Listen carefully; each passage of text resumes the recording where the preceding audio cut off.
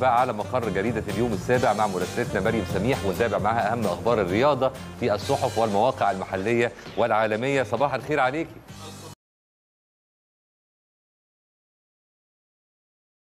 صباح الخير يا كريم وصباح الخير على كل مشاهدي قناة الأهلي في كل مكان. يعني طبعا زي ما أنت قلت في بداية الحلقة النهاردة إنه هيكون معانا جولة صحفية.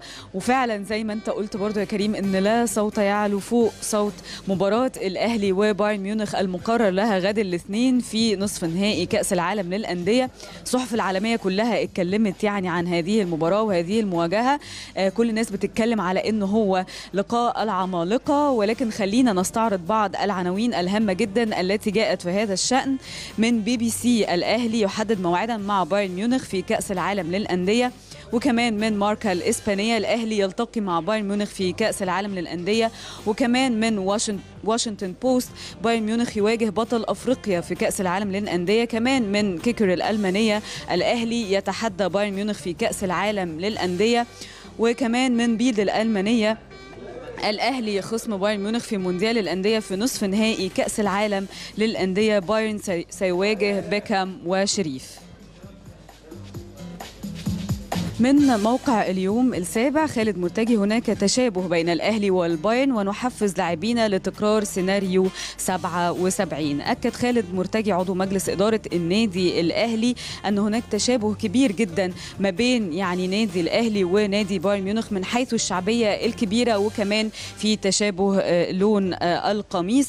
كمان قال إن كابتن محمود الخطيب رئيس النادي يعني بيتحدث كثيرا مع لاعبي النادي الأهلي وبيحفز بيحفزهم وكمان بيحاول 70 لما فاز الأهلي على بايرن ميونخ 2-1 وكان بكامل نجومه.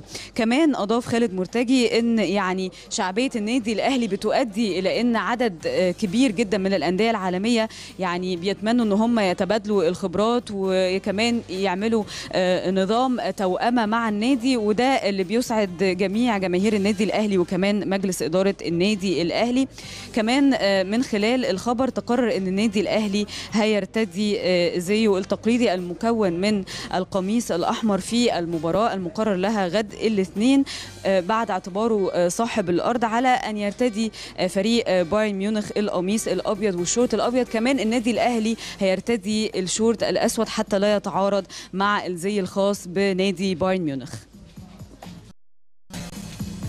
من اليوم السابع أيضا. هولمان الأهلي قادر على الفوز شرط الدفاع وغلق المساحات أمام ليفا وساني كمان أكد يعني هولمان المدير الفني الأهلي السابق إنه سعيد جدا بمواجهة النادي الأهلي وبايرن ميونخ في نصف نهائي كأس العالم للأندية. شايف إن المباراة هتضيف كتير جدا وهيستفيد منها كتير جدا النادي الأهلي طبعا. ولكن قال إنه على النادي الأهلي أن يركز على الدفاع أمام ليفاندوفسكي وكمان ساني وغلق المساحات أمامهما ومحاولة تسجيل أي هدف. كمان أضاف هولمان إنه يجب أن يلعب الأهلي بقوة كبيرة جدا أمام الفريق البافاري وتابع إن هناك فوارق طبعا يعني لا تخفى عن أحد ولكن الأهلي قوي جدا مثل بايرن ميونخ وهجوم بايرن ميونخ قوي جدا.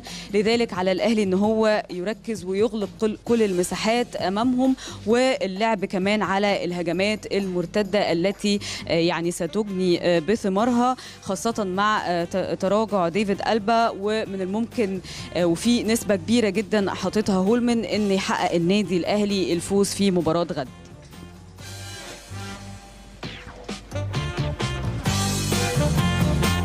من بوابة أخبار اليوم كواليس سبع ساعات من الغضب البافاري والغيابات تضرب صفوف بايرن ميونخ. سيطرت حالة من الغضب العارم على بعثة نادي بايرن ميونخ طبعا قبل السفر للمشاركة في كأس العالم للأندية لأن الطائرة الخاصة بهم تأخرت عن الإقلاع لمدة أو لأكثر من سبع ساعات دون إبداء يعني أسباب واضحة. وكمان عبر رومينيجي الرئيس التنفيذي للنادي الألماني عن غضبه العارم مما حدث وقال إنه نشعر بأن السلطات المسؤولة في براندبورغ منفصلة عنا تماما ولا يعرفون حتى ما يفعلونه بفريقنا. خاصة أن الطائرة لم تقلع بعد منتصف الليل بقليل كما هو مخطط لها ولم يسمح للبعثه بالإقلاع إلا في الساعة السابعة صباحا.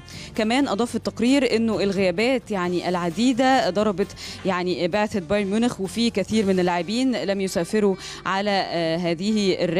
وده اللي ممكن إن هو يأثر بشكل كبير جدا على آه، يعني مباراة غد.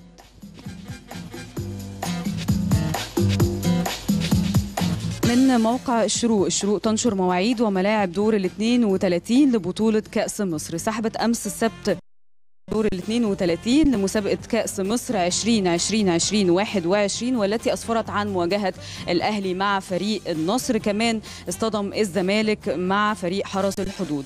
ولن يواجه الأهلي الزمالك إلا في حالة واحدة فقط هي حالة التأهل الناديين للمباراة النهائية من المسابقة. وأسفرت القرعة عن احتمالية إقامة مواجهة نارية مبكرة بين الأهلي وبيراميدز في ربع النهائي دور الثمانية. كمان حال نجح الفريقين في تجاوز دور ال 32 ودور ال 16 من المسابقة. من المقرر آه، أن يواجه الأهلي آه، نظيره النصر يوم الجمعة 19 فبراير الجاري على ملعب استاد القاهرة.